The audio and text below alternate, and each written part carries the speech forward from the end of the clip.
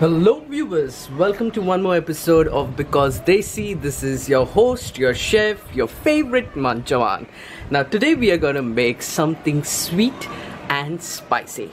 So we are gonna have two variants of this beautiful mango pickle here. Okay, so let's get started. So first thing we would do is we need to clean the mango. To clean the mango, I'm gonna cut the edges.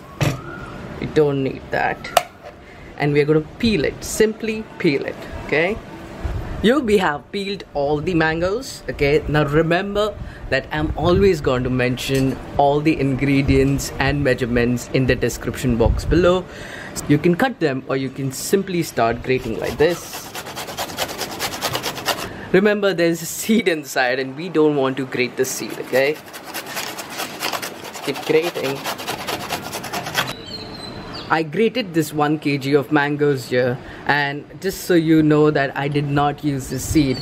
Now I'm going to use the seed to plant a tree though. I'll show you one of the videos how my garden looks like okay so here I have grated and chopped pieces of mangoes too. To you if you want it to be completely grated or completely be small chops of mangoes it depends upon your convenience okay? But here I have grated and a mix of chopped too. I have a wok here which is nice and warm. I'm gonna add the mango.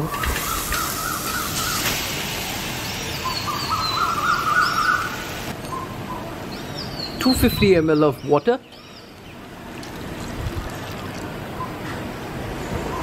Give it a mix I'll add some cardamom powder. This is one teaspoon of cardamom powder. We're gonna let the mango cook for another 10 to 15 minutes okay? Now let's add one cup of sugar okay? Now I'm using half a cup of jaggery powder here too. If you do not have jaggery powder you can just add more sugar so it will be in total one and a half cup but I'm gonna add one cup of sugar and half a cup of jaggery powder. It just balances the flavor. I like the way it comes out. Let's add one teaspoon of salt to this. Now, I like to add salt in most of my sweets. It's because it just simply enhances the flavor and also we're going to use salt here is because it acts as a good preservative. Because this muramba that we are going to make here is going to stay into the fridge for a good one to two years. You, we're going to let this cook for another 10 to 15 minutes just to make sure that the jaggery and the sugar is melted completely.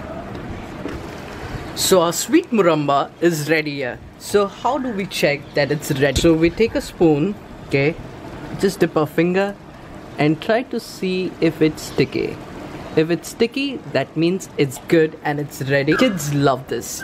You can use this as mango jam and you can put it on their bread, on their chapatis, and they will simply love this. The and let's do the chunda. The chunda is going to be the spicy version of the muramba. Okay, so to this we are gonna add one tablespoon of red chili powder. Mm-hmm. Now you understand why I said spicy. The second thing we're gonna add is one tablespoon of cumin powder. Now remember this is an instant chunda, so you don't have to wait. In an Indian household, we will typically not cook this muramba, simply Mix all the ingredients, leave it in a glass jar out in the sun to dry for 10 to 15 days. Now I'm making this instant for you, now you know why. It's good to use this recipe instead, so you don't have to wait for another 10 to 15 days.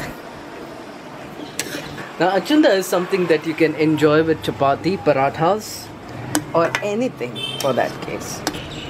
Our chunda is ready now and we are just gonna take it in a small bowl My dear friends, so our muramba and chunda is ready to be served. I hope you enjoyed the video today. I'll try to make the recipes as easy as possible. So this is for your kids and so that you can enjoy them too. So have a good day and I shall see you soon. Bye bye.